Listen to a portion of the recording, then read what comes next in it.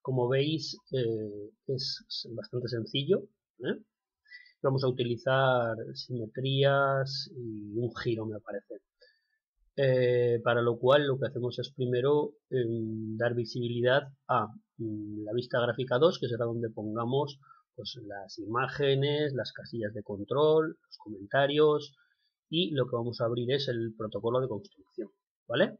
Y obviamente la vista gráfica que será donde se nos mm, dibuje el logo. Entonces, como veis, tiene 39 pasos, ¿eh? no son muchos para una construcción GeoGebra. Vamos a ir poco a poco. Ahí ya mm, el mensaje de que mm, se puede redimensionar el logo de los puntos A y B. Y voy a ticar generación del logo para que veamos todos los, toda la construcción, ¿vale? Entonces, lo primero, los dos puntos libres que tienen que ser A, B.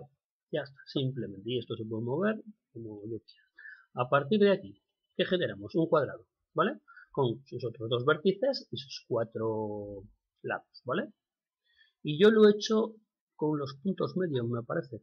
A ver, 1, 2, 3 y 4. Y a partir de aquí, triángulo, ya tenemos uno. Eh, otro triángulo, ya tenemos otro.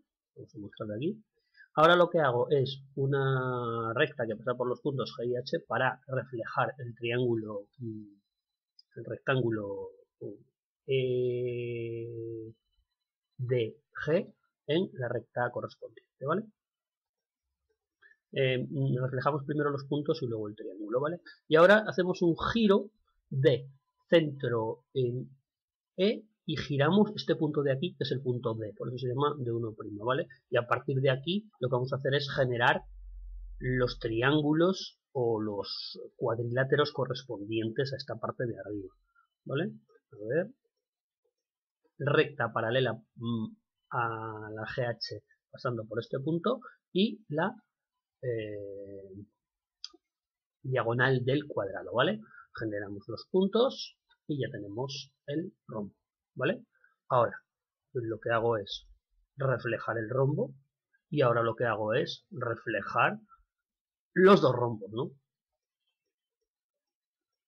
Y ya lo tenemos, 39 pasos y ya está. Ahora lo que vamos a hacer es comprobar que está bien. Quitamos esto, ¿eh?